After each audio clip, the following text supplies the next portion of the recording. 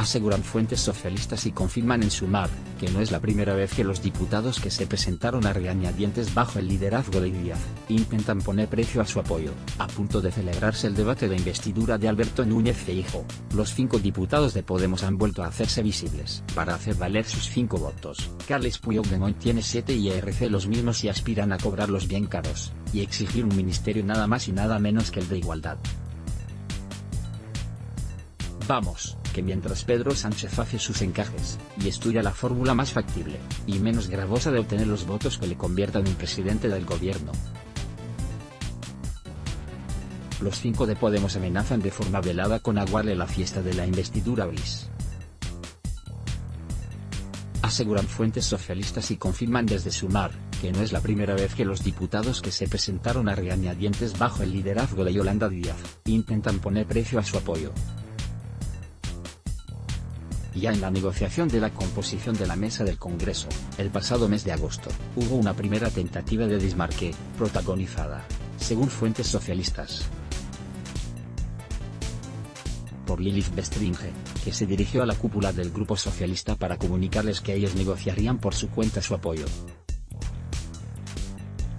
Entonces, según estas mismas fuentes, los socialistas, cordialmente, le indicaron que su único interlocutor era la vicepresidenta del gobierno, Yolanda Díaz, y en su defecto, aquella persona en la que ella delegase. Finalmente, y con las prisas, el acuerdo se cerró pasadas las 12 de la noche, la víspera de la votación, sin tener en cuenta las indicaciones barra advertencias de Podemos, sobre su peso específico en el grupo parlamentario de Sumar pero los de la formación morada, inasequibles al desaliento, han vuelto a hacerlo. Ahora antes incluso de que se celebre el debate sobre la investidura de Feijo advierten que sus votos tienen un precio, un ministerio. En la mente del presidente del gobierno se ha aparecido la señal de peligro de inmediato hoy, casualmente, las voces socialistas y gubernamentales más autorizadas se han apresurado a poner en circulación que,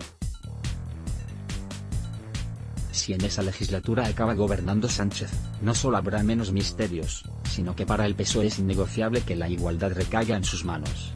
Blanco y en botella, no hay Irene Montero. Le ahorran así los socialistas quebraderos de cabeza a la vicepresidenta Díaz y se los evitan a sí mismo al gobierno.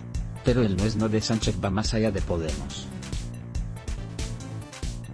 aseguran los más próximos al jefe del Ejecutivo que este no quiere ver ni en pintura a la todavía ministra de Igualdad en funciones, porque entiende que el peor momento del gobierno en la pasada legislatura se produjo a cuenta de la ley del CSI. En especial, tras la posición numantina y un tanto soberbia de la ministra, al negarse a modificar ni una coma de un texto claramente defectuoso, y perjudicial para las víctimas de los delitos sexuales. La nueva andanada de advertencias de Podemos parece que ha caído en saco roto en las filas socialistas y, lo que es peor, dentro de su propio grupo. Unos y otros, parecen no dar importancia a las exigencias de la formación morada.